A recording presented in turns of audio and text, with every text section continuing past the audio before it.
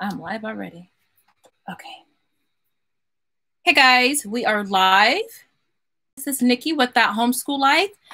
I'm coming to you twice in one day, although I said I would come tomorrow. Let me get a drink in. We just came back from the beach. I took a quick shower and um, I said, you know what? Let me just knock out this video for Black History books for third grade and up, and then I can just not have to upload anything tomorrow. All right, so let's get into it. I'm changing the title to my top five picks, but I have a feeling I'm going to lie about that because I got more than five books right here in this pile, and I got like three piles over here. But just bear with me. All right, so my Black History books my picks. I'm going to start with novels. I'm just going to run through these. A Long Walk to Water. This is part, uh, this is from the Lost Boys series. Uh, for those of you who don't know, the Lost Boys, when Sudan was going through its civil war, you had tens of thousands of boys who were displaced. And this is a short, a relatively short read for um, an upper elementary, middle school child. So that's a long walk to water. I've got um, Bud, not Buddy. I have two Caldecott winners. I think they both, no, Newbery winner. Sorry. This is for young adults. I have um, by Christopher, Christopher Paul Curtis. I have The Watsons Go to Birmingham, 1963, and Bud not Buddy, both by Christopher um, Curtis, and both um, are about um, a 10 year old boy and just life during that time from his perspective. So uh, this one takes place in Flint, Michigan, and uh, this one um, they go down to Alabama. So there you go. All right, um, Muhammad Ali, if you're doing biographies, there is none greater than the boxer, world renowned boxer, and um, civil rights champion, Muhammad Ali. I'll, I will leave links in the description box um, in about an hour because I have a lot of books. Um, Brown Girl Dreaming, we read the first couple of chapters and then we put it away to read something else. Let me do this because I'm getting a lot of glare this is um, it, it's has, has won so many awards. We just had so much going on that um, we didn't really get into it. But I think this is especially for girls. It's a um, a great read, at least initially for us. But just knowing the story for um, young adolescents making that transition and all the things that test them in terms of their faith and prejudice and things like that. Um, Once upon a time in Ghana, if you if you love folk tales like Aesop fables, it's hard to find something for older kids. Now this is really for older kids. Like it talks about marriage, uh, weddings, killings. It's definitely for an older set of children. Once upon a time in Ghana, this book has actually won a number of very prestigious awards. We do have some pictures in here, illustrations, but this is definitely, um, they talk about kind of adult, not adult, but you know, grown stuff. So for high school, I would say, but great stories. There's a storyteller in here, and it, uh, it covers it's the Urbe Urbe stories told from five different villages or four different villages. So this is a fun read. Um, all right, now these I just got these in the mail. I need to do another book haul. Shaka Y'all know about Shaka, that Zulu man, that Zulu king. So these are graphic novels. These are really, really fun. My son has not read these yet. I'm going to surprise him with these for his birthday. Well, before his birthday. So you have um, The Rise of Shaka. And I'll just show you what this looks like on the inside, although I will do a review. It gives you lots of information toward the back of the book. I mean, lots of additional information. They even show you they tell you about dialects and the click sounds, all of that. This, I love this. Um, I think there are only two books in the series. And then you have Shaka when he becomes that warrior and he um, fights back the British. Now, since I'm um, going into the fall, we are going to focus on military history and we are going to study warriors and wars. Uh, I pulled, I got this. This is a new book. I'm sorry, I'm talking so fast. I'm just trying to get through this, and I'm hot. This is oh, this is not the first. This is not the one I'm going to show you. All right, the Zulu Wars. So the Zulus. Um, this is around the South Africa on up to Lesotho, I think. That whole region is the large swath of land that the Zulus um, occupied and defended and defended. This book goes over the uniforms, equipment history, and organization of military forces, past and present. And it gets very detailed. If you have a child who is really into battles and wars, this is everything they could ever ask for. I mean, they even go as far as giving you details about different ranks in the army for, for both sides. They give you formations, um, the all the equipment, the the stuff that they use to fight with the stuff that they use to just, you know, when they're at camp. It's very, very detailed. As a matter of fact, I don't, let me show you. Um, it goes into, well, they tell you a lot about the Zulus. They even have a whole section just on the construction of their um, arm, of their weapons, which is fantastic. And then uh, they show you some formations, what makes a great formation, uh, basically battle strategy. So that's for the Zulu War. That's called Men at Arms. And then I found the campaign, which is the Great Zulu War. Now this, this, this goes over the tactics and strategies and the battle experiences. Like if you want to do now, this will be great even for high school and I mean even for college. It's that detailed. You're not going to be able to see it here, my microphone is in the way. I can't get closer. It goes over battle openings, how the battle started, where they started, and then they show you both sides. They do the orders of battles. You have the British forces over here. They tell you how they started off, and then the Zulu forces over here, and it tells you the progression of their um, battles. And then they also show you.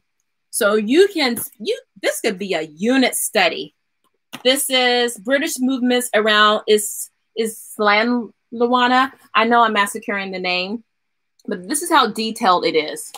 And you also have pictures. You have real pictures that are included throughout, and um, then also some illustrations. But um, you have there's a lot. There's there's a lot. You you could spend a long time for this. I think there are six or seven books in this series. It really breaks it down. So, and this is a new publishing company to me. It's Osprey Publishing.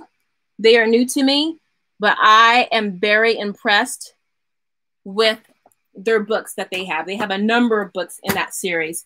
All right, um, now moving on to the more the troublemakers, as Claude Anderson would say, the troublemakers. All right, so Dirty Little Secrets by um, Dr. Claude Anderson, who also did Powernomics, about Black history, its heroes, and other troublemakers. Now, this is a nice little compendium. If you're wondering about what to get, what to buy first for your library, I recommend compendiums, anthologies, collections, where you get a whole bunch of little information. You can read through it, and then you can figure out, hey, I like this. Let me go get more books about this. Okay? Little information. He talks about Denmark Vesey, Nat Turner.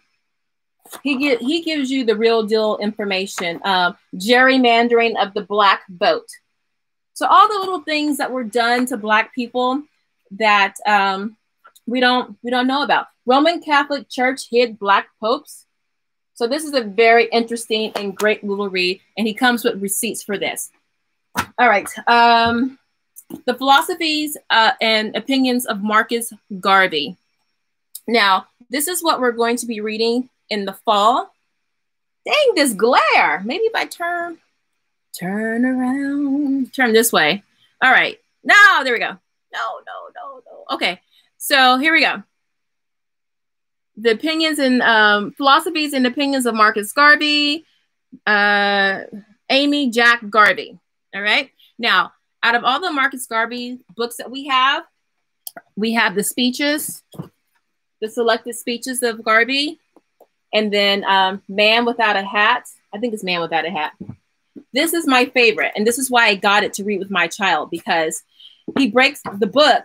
This is volume one and two. Bear with me, guys. I'm really trying to get through this so you can take notes, but also get on with your life because I know it's kind of late. Okay, so look here at the table of contents. If you want to know what Garvey thinks about these topics, go right to that page. He talks about education, slavery, government, poverty, power, Christianity, um, evolution, miscegenation, slavery, propaganda. I mean, let me just turn to what is what does Marcus Garvey think about Christianity? Let's go there. No, let's go to education, 17. Okay, so you go to, you go to that page, education, and he's got three philosophies or opinions about that. Quotable, this could be copy work, or it could be memory work, or it could be an essay prompt. You can you can really milk this. All these topics. You get all of his opinions. There is there's a, some pictures in here. Wait, I'm trying to get to another section. Look here. So this is pretty, this is thorough. This is very thorough. It talks about um, what he thinks about justice, going for justice, um, what he really thinks about uh, slavery, just so this is a good book. We're going we're going to be using this in the fall. Here you have selected writings of Marcus Garvey. Now, as you can see, when I choose um, my books, I don't do a lot of civil rights books. I do have Martin Luther King books somewhere around here. I don't know where it is, but um, it, it's mainly just about Martin Luther King toward the end of his life when he started to change his mind, you know, when he talked about, I fear I've driven my people, I've integrated my people into a burning house, you know, he started talking about class instead of race. And then, you know, they took him out, the government took him out. So I kind of focus on that part of Martin Luther King and um, not so much the early years. But um, this one is great if your child does debate or is just interested in great writing. Garvey was an orator, uh, that is I, I don't know of any other person who has who can surpass um, his uh, rhetoric and how he spoke. Oh, another book on the lost boys of Sudan. They poured fire on us from the sky. This is a longer read. This is more involved than the long walk to water, and um, it's read this with your child. I mean, don't have your high. I would say high school, middle school if your child is you know mature enough to handle um, content like this you know, dealing with war and famine and the things that you do when you're a displaced uh, person. Of course, we've got Malcolm X by Alex Haley. And that could be used for um, a read aloud, just maybe selected passages, or you, that can be assigned uh, work. Now, um, I have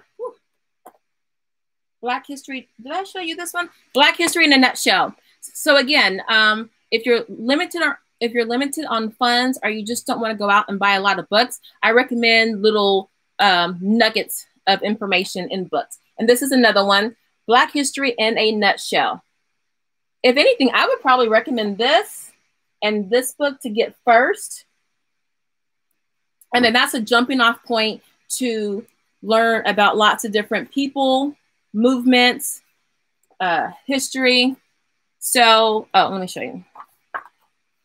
So it's just all kinds of nuggets. They divided up in, into different categories, and um, the categories are pretty broad, but they just give you just so much information about each little category.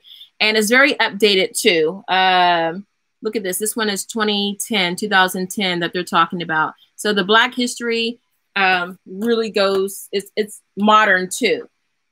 You have the ancient names of Black people and other history facts, and then they give you that information with receipts, with resources to double check and verify what they have said in here. So this is actually, this is the resources that they um, refer to in here itself is um, very, very good.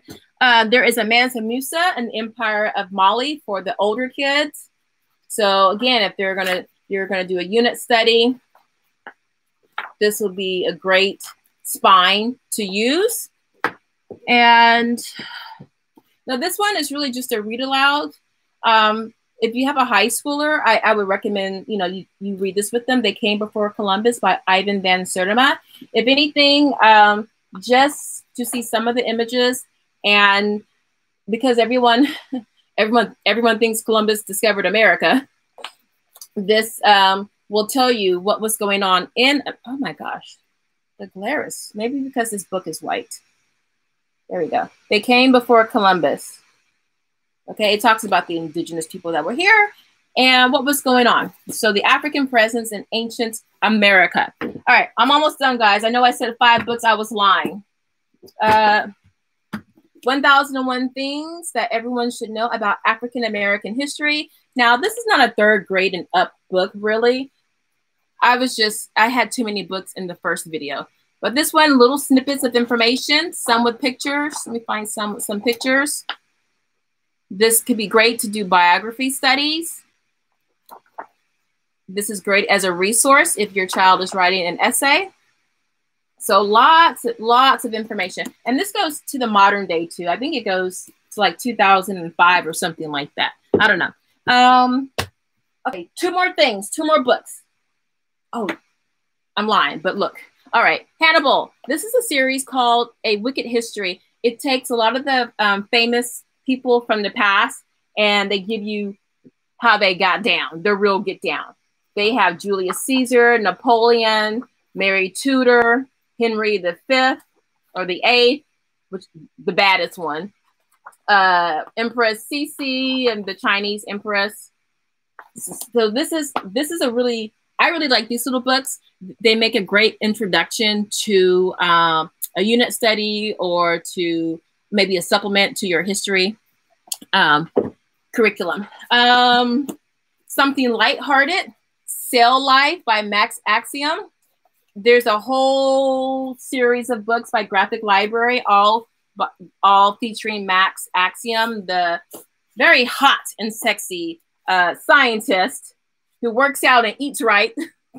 but um, this is a graphic novel, and this is great for middle school on up for the younger sect, you know, they can read through it, but some of the vocabulary might be a little difficult for them because they are scientific terms. But that's um, that series, the graphic library series featuring Max Axiom. All right, guys, I'm trying to wrap it up. I, I still have more stuff. I'm not even going to cover right now. Um, oh, Lord, I have one more pile here. Okay, let me go through this really quickly. Black Pioneers of Science and Invention, Louis Haber. All right. Again, this is a collection of people. You can do a lot with these books. They give you so much bang for your money. You can use this to jump off and learn about um, uh, an inventor or a science concept or something that was discovered. This is a, a great collection to have. 1,000, I'm sorry, 100 amazing facts about the Negro with complete proof by the Venerable J.A. Rogers. Um, he is an ancestor that's not showing. Again, I like books that have lots of little nuggets of information, a, a lot of information about history, because then you can always go deeper by buying additional books. W.E.B. Um, Du Bois or Du Bois. Uh, so this is not something for your child to read. It's mainly for you to read, but what you can do and what I have done um, is I've read about um, Du Bois and Garvey and their Pan Africanism, you know, uh, you know, discussions, their, um, you know, their dialogue. So if you wanted to do um, a comparison on, say, slavery or whatever, um, uh, or Pan Africanism between Garvey and um, Du Bois, this um, all you have to do is just read chapter two okay if you wanted to talk about or know what um, Du Bois or Du Bois thought about um, civil rights.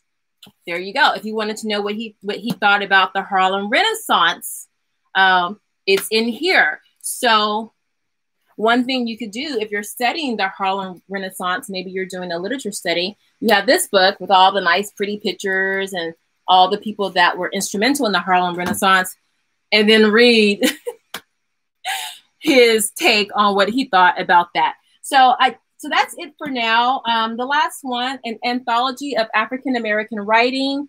I would um, this is definitely a top book. You have all the authors featured. You know, you have all your classic ones. Langston Hughes, Zora Neale Hurston, Maya Angelou. Um, you, you got it all. Elin Harris, Gwendolyn Parker. You just have, you see this list. So you get a lot of exposure to writings of um, some of our great um, authors. All right, so that is it for Black History books, third grade and up. I do have another stack here. That's the Slavery Chronicles, um, 21 minutes. All right, I done lost a lot of y'all. Now, look, those of y'all that were all in here, you need to come back and watch the uh, the playback because this is not a time to be lazy. You need to get these books or learn about the books and find your way to some of these books. I talked about the the slave narrative, the slave narratives. There are 17 books in this series. 17, I'm sorry, 16 states. Texas has two books, so there that's why there's 17 books in the series. I'm not going to go um, into detail with that. I did a book haul, brief little overview on on those books. Um, if you're into talking about slavery, start with this. Don't start slavery from a from a position of inferiority and shame. Start it with the slaves who who were kicking butt. Okay, slaves with swag by um, Darrell Hinman. Okay, slaves with swag, and then from there, you can go into the three major um, slave revolts or insurrections in America. And that would be the first one that a lot of people don't know about. That was in 1811. That was the revolt in New Orleans. I believe, I believe it was led by Charles Deslandes. And this was, they were influenced by the Haitian Revolution of 1804, led by Dutty Bookman. And in here, they even talk about the Bookman prayer, uh, what Dutty um, said before they went off um, and started the uprising. So you have this one, uh, America Uprising, and Denmark Vesey.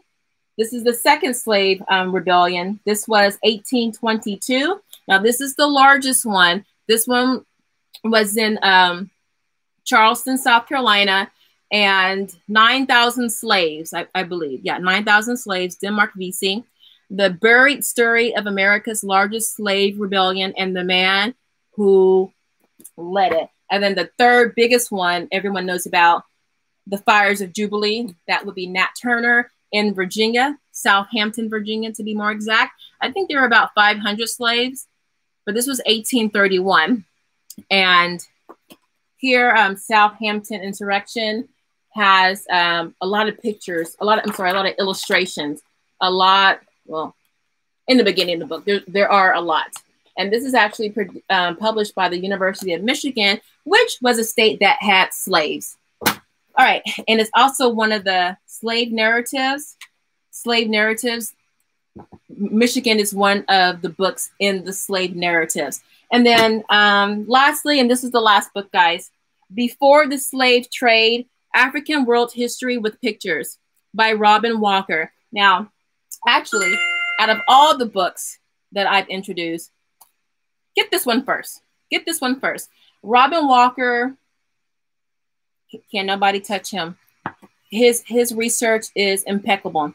Um, and he's very thorough, he's very organized. You know, I'm going to do just a, a review on this book alone because it's important that we know what was going on before the slave trade.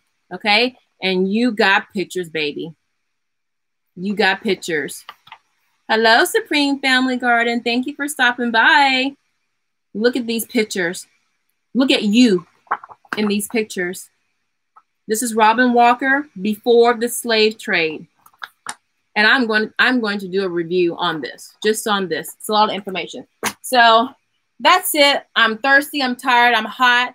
I'm going to go relax. I was out in the sun for three hours, um, but I hope you found some value in this. I wanted to go live so I can get all these books out because if I record it, it'll take me two weeks to edit it, and then then my my my spirit is gone. I don't feel like dealing with it. So that's it. If you like this kind of video and you would like more of these videos, don't forget to hit the, the subscribe button and hit the notification bell so you know when I upload more videos like these. Yeah, yeah, yeah, the whole spill. But I really thank you for staying with me until the end.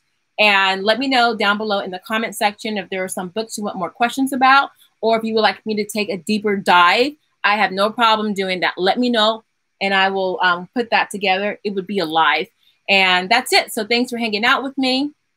I will see you for the part three series, which is Black history books for us, the educators, books that we should be reading, whether the actual book or the audio book, so we can teach our children. And some of those are going to be kind of heavy hitting books. And then the fourth book, the fourth video in the series will be um, books for white people and other non blacks books that they need to be known about, that they need to just have on their bookshelves, like White Fragility, uh, Black Labor, White Power, uh, Stamped from the Beginning, books like that. Um, all right, so that's it. If there are no questions, I am out of here. Thank you for stopping by. And don't forget to hit the like button. It helps Google, I mean, YouTube with the algorithms and stuff like that. So, oh, and just a quick shout out. My lovely niece, my little entrepreneur niece, made this beautiful mug for me. It says Queen Bee on it, and it is gorgeous. And if you're interested in that, I will be having my website up with the store, and you can place an order for her. All right, guys, I'm out of here. I'll see you tomorrow with part three of this Black History series leading up to Friday, which is June 10th, June 19th. All right, guys, bye bye.